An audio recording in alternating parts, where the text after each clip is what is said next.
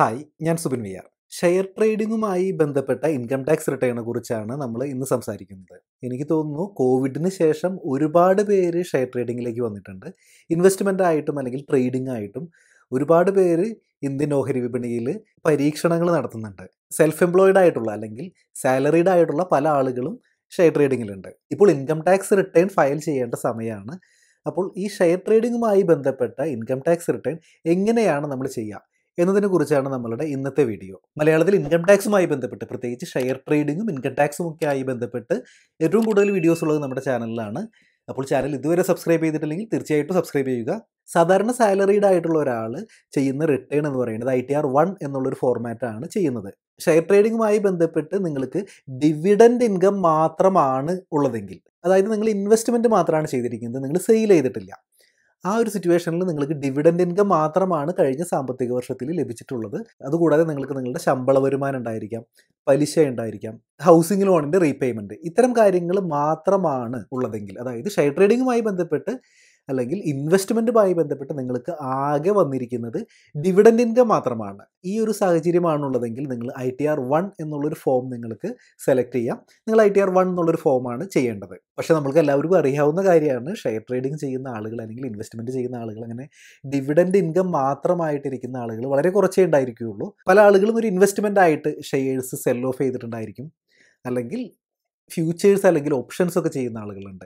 അല്ലെങ്കിൽ ഇൻട്രാഡേ ചെയ്യുന്ന ആളുകളുണ്ട്. ഇവരൊക്കെ ഏത് റിട്ടേൺ ആണ് ഫയൽ ചെയ്യേണ്ടത് എന്നതിന് എന്ന് നമുക്ക് നോക്കാം. ഇതിലെ രണ്ടാമത്തെ കാറ്റഗറിയിലേക്ക് നമുക്ക് കടക്കാം. അതായത് നിങ്ങൾ ചെയ്യുന്നത് നിങ്ങൾക്ക് ഡിവിഡൻഡ് ഇൻകം ഒരുപക്ഷെ നിങ്ങൾക്ക് ഡിവിഡൻഡ് ഇൻകം ഉണ്ടായിരിക്കാം.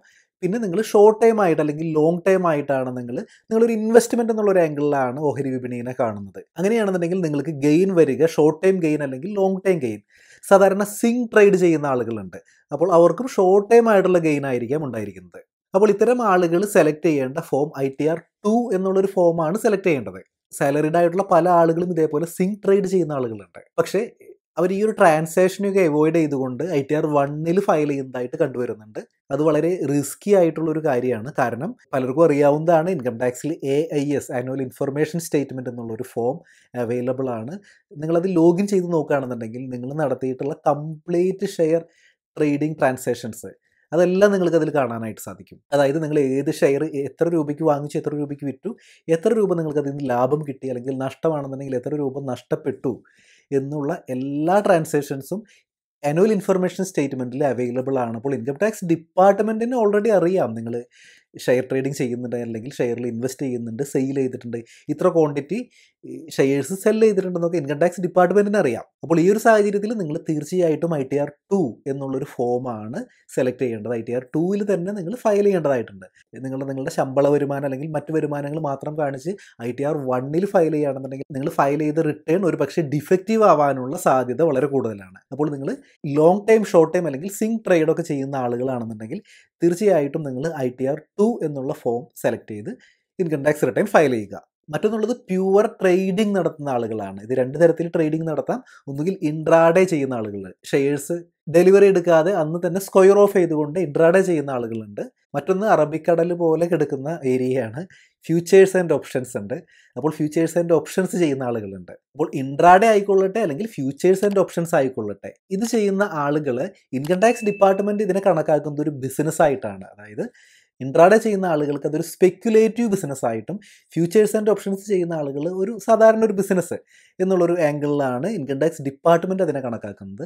അപ്പോൾ ഇൻട്രാഡേ അല്ലെങ്കിൽ ഫ്യൂച്ചേഴ്സ് ഓപ്ഷൻസ് ചെയ്യുന്ന ആളുകൾ യൂസ് ചെയ്യേണ്ട ഐ ടി ആർ ഫോം എന്ന് പറയുന്നത് ഒരു ബിസിനസ്സുകാരൻ ഒരു സാധാരണ ഒരു ബിസിനസ്സുകാരൻ സെലക്ട് ചെയ്യുന്ന ഐ ടി ആർ ഫോം ആയിട്ടുള്ള ഐ ടി ആർ ത്രീ ആണ് സെലക്ട് ചെയ്യേണ്ടത്. അതുമാത്രമല്ല ഇൻട്രാഡേ അല്ലെങ്കിൽ ഫ്യൂച്ചേഴ്സ് ഓപ്ഷൻസ് ഒക്കെ ചെയ്യുന്ന ആളുകൾക്ക് അറിയാം വളരെ ചെറിയൊരു എമൗണ്ട് കൊണ്ട് തന്നെ മാർജിൻ മണി വെച്ചുകൊണ്ട് നിങ്ങൾക്ക് അത്രയും വലിയ തോതിൽ ട്രേഡ് ചെയ്യാനായിട്ട് സാധിക്കും. പത്ത് ലക്ഷം രൂപ ബാലൻസ് ഉള്ള ഒരാൾ കോടികളുടെ ട്രാൻസാക്ഷൻ ഒരു ദിവസം തന്നെ നടത്താനായിട്ട് സാധിക്കും. അപ്പോൾ ഈ സാഹചര്യത്തിൽ വലിയൊരു വോളിയം ഓഫ് ബിസിനസ് ആണ് നിങ്ങളുടെ ബ്രോക്കറുടെ അക്കൗണ്ടിലൂടെ നിങ്ങൾ ചെയ്യുന്നത്. ഈ എല്ലാ ട്രാൻസാക്ഷൻസും ഇൻകം ടാക്സ് ഡിപ്പാർട്ട്മെന്റിലേക്ക് ഷെയർ ചെയ്യുന്നുണ്ട്. അപ്പോൾ അതുകൊണ്ട് തന്നെ ഫ്യൂച്ചേഴ്സ് ഓപ്ഷൻസ് അല്ലെങ്കിൽ ഇൻട്രാഡേ ചെയ്യുന്ന ആളുകൾ പ്രത്യേകം ശ്രദ്ധിക്കുക. ഒരിക്കലും ഇൻകം ടാക്സ് റിട്ടേൺ ഫയൽ ചെയ്യാനായിട്ട് വിട്ടുപോകരുത്. നിങ്ങൾ ഇൻകം ടാക്സ് റിട്ടേൺ ഫയൽ ചെയ്യാൻ വിട്ടുപോയി കഴിഞ്ഞാൽ തീർച്ചയായിട്ടും നിങ്ങൾക്ക് നോട്ടീസ് വരാനുള്ള സാധ്യതയുണ്ട്. അപ്പോൾ ഫ്യൂച്ചേഴ്സ് ഓപ്ഷൻസ് അല്ലെങ്കിൽ ഇൻട്രാഡേ ചെയ്യുന്ന ആളുകൾ ഐ ടി ആർ ത്രീ എന്നുള്ളൊരു ഫോമാണ് യൂസ് ചെയ്യേണ്ടത്. ഐ ടി ആർ ത്രീ എന്നുള്ളൊരു ഫോം കുറച്ച് ലെങ്തി ആയിട്ടുള്ള ഒരു അക്കൗണ്ടിങ് പെർസ്പെക്റ്റീവിൽ ചെയ്യേണ്ട ഒരു ഫോമാണ് അതായത് ഒരു ബാലൻസ് ഷീറ്റ് അല്ലെങ്കിൽ പ്രോഫിറ്റ് ആൻഡ് ലോസ് അക്കൗണ്ട് ഒക്കെ പ്രിപ്പയർ ചെയ്തതിന് ശേഷം ഫയൽ ചെയ്യേണ്ട ഫോമാണ് ഐ ടി ആർ ത്രീ എന്നുള്ളത്. ഐ ടി ആർ ടു ആവട്ടെ അതിൽ ക്യാപിറ്റൽ ഗെയിൻ എങ്ങനെയാണ് അറൈവ് ചെയ്യുന്നത് അതിൽ എക്സ്പെൻസ് ഏതൊക്കെ എക്സ്പെൻസ് നിങ്ങൾക്ക് ഡിഡക്റ്റ് ചെയ്യാനായിട്ട് സാധിക്കും. അങ്ങനെ കുറച്ച് ടെക്നിക്കൽ കാര്യങ്ങൾ വരുന്ന ഫോമാണ് ഐ ടി ആർ ടു എന്നുള്ളത്. ഐ ടി ആർ വൺ ചെയ്യുന്നത് പോലെ തന്നെ അത്ര ഈസി അല്ല. ഐ ടി ആർ ടു അല്ലെങ്കിൽ ഐ ടി ആർ ത്രീ എന്നുള്ളത് കുറച്ചുകൂടി കോംപ്ലിക്കേറ്റഡ് ആണ്. കുറച്ചുകൂടി സിവിയർ ആയിട്ടുള്ള ഒരു ഫോമാണ് ഐ ടി ആർ ത്രീ എന്നുള്ളത്. അപ്പോൾ നിങ്ങൾക്ക് ഇതിനെക്കുറിച്ച് കാര്യമായിട്ട് ഉള്ള ഒരു ധാരണ ഇല്ലെങ്കിൽ സ്വയം ഫയൽ ചെയ്ത് ഒരു കോംപ്ലിക്കേഷനിലേക്ക് പോവാതിരിക്കാനായിട്ട് ശ്രദ്ധിക്കുക. ഒരു പ്രൊഫഷണലിന്റെ ഹെൽപ്പ് തീർച്ചയായിട്ടും തേടുക.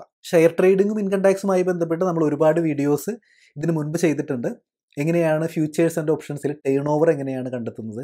എത്ര വർഷം നമ്മൾക്ക് ഇതിന്റെ ലോസ് ക്യാരി ഫോർവേഡ് ചെയ്യാനായിട്ട് പറ്റും? ഏതൊക്കെ ഇൻകം ഹെഡുകളായിട്ടാണ് നമുക്ക് ഇതിന്റെ ലോസ് സെറ്റ് ഓഫ് ചെയ്യാനായിട്ട് പറ്റുക? അല്ലെങ്കിൽ പ്രോഫിറ്റ് സെറ്റ് ഓഫ് ചെയ്യാനായിട്ട് പറ്റുക? അതുപോലെയുള്ള വളരെ ഡീറ്റെയിൽഡ് ആയിട്ടുള്ള വീഡിയോസ് നമ്മൾ മുൻപ് ചെയ്തിട്ടുണ്ട്. എല്ലാ വീഡിയോസും ഉൾക്കൊള്ളുന്ന ഒരു പ്ലേലിസ്റ്റ് ഈ വീഡിയോയുടെ എൻഡ് സ്ക്രീനായിട്ട് ചേർത്തിട്ടുണ്ട്. കൂടുതൽ അറിയാനായിട്ട് നിങ്ങൾക്ക് ആ വീഡിയോസ് കണ്ടു നോക്കാം.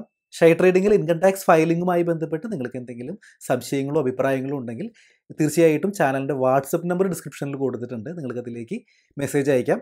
വീഡിയോ യൂസ്ഫുൾ ആയി എന്ന് കരുതുന്നു. മറ്റൊരു വീഡിയോ ആയിട്ട് വീണ്ടും കാണാം. Thanks for watching.